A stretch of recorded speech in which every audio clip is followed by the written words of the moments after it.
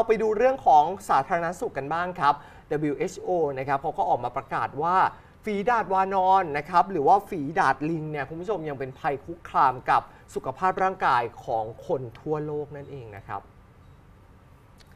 เรื่องนี้นะครับนายแพทย์ ทีโดรสครับผมผู้อำนวยการองค์การอนามัยโลกนะครับก็เตือนออกมาครับบอกว่าโรคฝีดาดลิงนะครับหรือว่า m p o x นะครับเป็นภัยที่คุกคามด้านสุขภาพทั่วโลก เนื่องจากไม่มีสัญญาณครับว่าการระบาดเนี่ย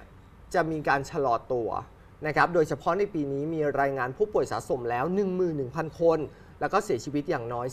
445 คนนะครับอีกทั้งมีรายงานผู้ป่วยเพิ่มใน 26 ประเทศ เมื่อเดือนมิถุนายนที่ผ่านมาครับ พร้อมกันนี้เนี่ยนายแพทย์เองเนี่ยได้แสดงความกังวลต่อสถานการณ์ระบาดของเชื้อสายพันธุ์ใหม่ ในสาธารณรัฐประชาธิปไตยคองโกครับเขาบอกว่าขณะที่มีรายงานผู้ป่วยในแอฟริกาใต้แล้ว 20 คน รวมทั้งผู้เสียชีวิตอย่างน้อย 3 คน ก็ถือเป็นผู้เสียชีวิตกลุ่มแรกในประเทศ นับตั้งแต่ปี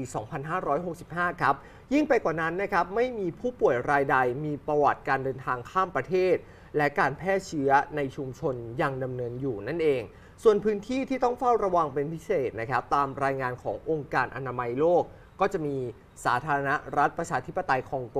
เนื่องจากเกิดการระบาดของเชื้อไวรัสฝีดาษลิง สายพันธุ์ใหม่ตั้งแต่เดือนกันยายนปีที่แล้วนั่นเองครับ ส่วนทางออสเตรเลียนะคะกำลังเผชิญกับกำลังกำลังเผชิญกับภัยคุกคามใหม่ จากเชื้อไวรัสไข้หวัดนก 3 สายพันธุ์ค่ะ ซึ่งการระบาดดังกล่าวนะคะ ส่งผลกระทบต่อฟาร์มสัตว์ปีกหลายแห่ง ในรัฐวิกตอเรียและรัฐนิวเซาท์นิวเซาท์เวลส์ค่ะ รวมถึง Australian Capital Territory ค่ะทำให้ต้องกำจัดไก่แล้วกว่าจำนวน 500,000 ตัวค่ะ ขณะที่เจ้าหน้าที่นะคะยังไม่สามารถระบุถึงสาเหตุของการระบาดครั้งนี้ได้ค่ะ โดยอาจเป็นไปได้ว่าเกิดจากหลายปัจจัยรวมทั้งนกป่าด้วยค่ะ ใช่แล้ว